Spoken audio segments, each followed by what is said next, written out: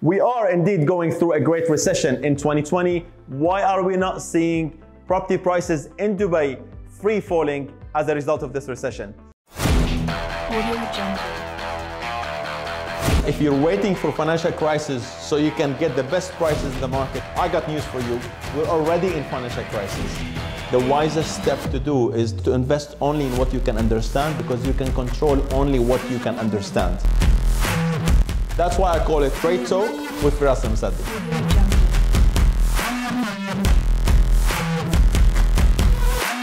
Hi everyone, welcome to another episode of Straight Talk with Firas Al-Msaddi. In this episode, I will be addressing one of the most debated questions about the real estate market in Dubai.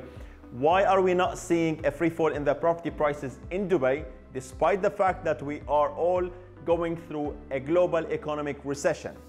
Well, for many, they remember the 2009 recession that has resulted in almost an immediate free fall in prices across all areas in Dubai of probably 50%, if not even more.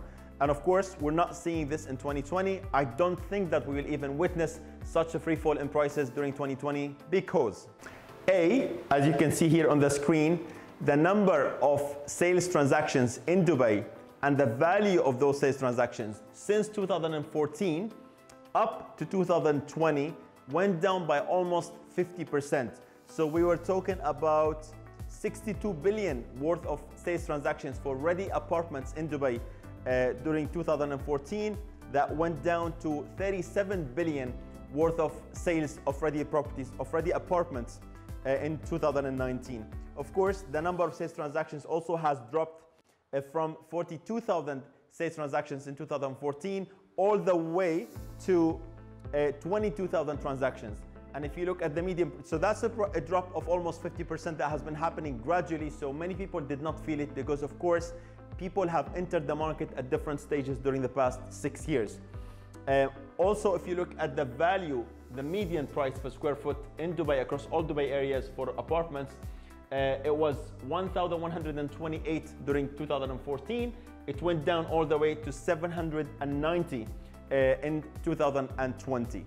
So that is A. B, as we arrive to 2020, we don't have a mortgage bubble, the same one that we had in 2009, because banks have been extremely conservative when it comes to the loan to value, when it comes to the real estate exposure on, the, on their balance sheets, when it comes to even the requirements of uh, granting a loan to individuals. So hence, that leads me to C, the fact that we don't have speculators in this market. So uh, because the market have been dropping for the past six years, because banks have been very conservative when it comes to lending, so we don't have speculators. People who've entered the market, especially in the past three years, they entered the market for the right cause, with the right plan of a, medium to a long-term view. So we don't have speculators who paid the first payment and they don't have the second or the third payment. I'm assuming that most of the investors who invested in Dubai in the past three years have invested with a medium to long-term plan, so they've planned their cash flow very, very well. Hence, we don't see um, the, the level of desperation to sell and to exit the market that we've seen uh, during 2009 crisis. So for sellers, of course, it's always wrong to sell in a down market, but I understand that some sellers need to exit for one reason or another, but I don't want sellers to exit for the wrong reason. Don't exit as a seller because you're worried about a sharp drop in the real estate prices in Dubai because I don't see that happening, especially or at least uh, looking at the data and the market fundamentals that are briefly uh, uh, discussed with you in this video. Uh, of course, for buyers, I think definitely it is the right time to leverage on the following facts. Number one, six years price low, um, probably all time uh, interest low. Uh, if you look at the LTV, probably it's all time high LTV since the 2009 recession. And of course, that shows a lot of confidence from the central bank in the real estate market in Dubai. Uh, in addition to that, and that's, I would say, the most important fact is that it's time for buyers with the right financial capability to look at the most prime assets, the most prime units in Dubai, in, in the project of your interest.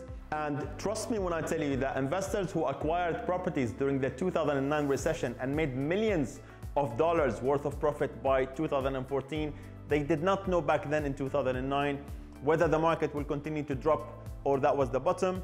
They didn't know why would the market bounce back and they didn't know when will the market exactly bounce back.